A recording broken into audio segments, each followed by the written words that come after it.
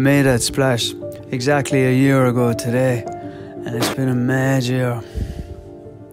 I remember uh, I, I snuck into the studio um, New Year's Eve 2020 at night time and uh, made two pinks, cerise pinks, and I made a green. And I was all excited because I've been wanting to splash a painting from a height for weeks. I don't know why. I just wanted to create a bit of impact in the paintings, I think.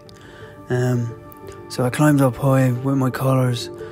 They were my flying colours, and I just let, I just threw them off. And I really, uh, really it felt great actually. There's a lot of luck, a lot of chance.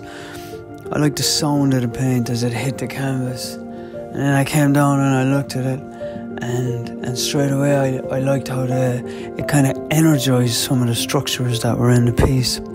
So I had to leave it flat for a week or so to dry. And then I turned it up and hung it on the wall. And when I hung it on the wall, I realized that I liked what happened, but it needed more. So I stared at it for weeks, and then around uh, springtime, I added some other structures into it and took them out. And then middle spring, I put that big tall yellow structure up the middle, and I added wings to the structure because somehow it looked a little bit heavy, and I needed to lighten it if it needed to fly away or anything. So that was in the middle, and then. Um, over time, different things changed. During the summer, I put that large red painting section section at the bottom, which seemed to kind of put manners in the rest of the painting. It seemed more kind of grown up, and it kind of balanced all the chaos around it. And then a few weeks later, when that dried, I added the blue, what I see as a Berlin structure that came from doing drawings in Berlin.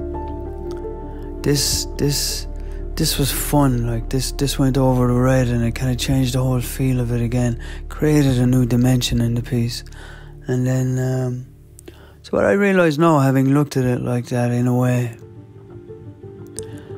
I like.